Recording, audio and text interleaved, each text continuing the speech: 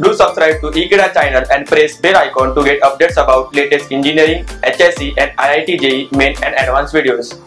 So friends, now we are going to learn about the laws of osmotic pressure which are three laws and what are those and what are the expression to determine the equation of osmotic pressure let us see.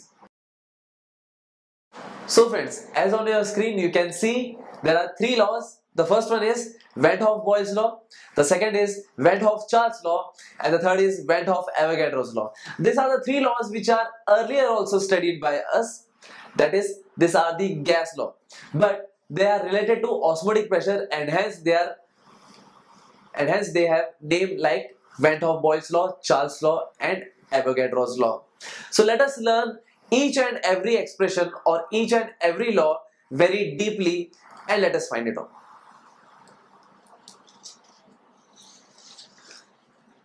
So talking about the first one that is Van Hoff-Boyle's law, it states that at constant temperature, the osmotic pressure which is denoted by pi of a dilute solution is directly proportional to molar concentration or it is inversely proportional to the volume of solution.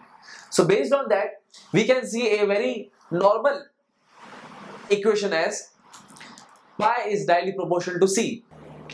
So it is very simple to know that osmotic pressure is directly proportional to C. In this case, the C is nothing but concentration and the concentration in terms of molarity. While this law also states that the osmotic pressure is inversely proportional to the volume. Means if the volume of the solution increases then the osmotic pressure will go on decrease. So it was very much simple and let us go with the next one.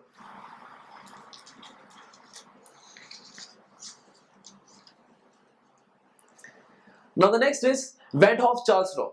It is very similar to Charles law but in this case only osmotic pressure is there and hence we have to evaluate this definition in that format. So it states that at constant concentration osmotic pressure that is pi of a dilute solution is directly proportional to the absolute temperature which means osmotic pressure is directly proportional to the temperature at constant concentration or constant volume. In this case, the osmotic pressure is directly proportional to T which means if the temperature increases then the osmotic pressure will also be more. So therefore, as pressure is directly proportional to T, similarly osmotic pressure is also directly proportional to T that is temperature.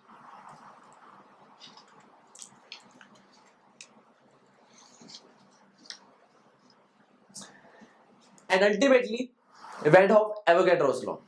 Avogadro's law deals with the number of moles of particle which are present and we have to analyze that how it is related to osmotic pressure. It states that equal volume of isotonic solution which contains an equal number of solute particles at the given temperature means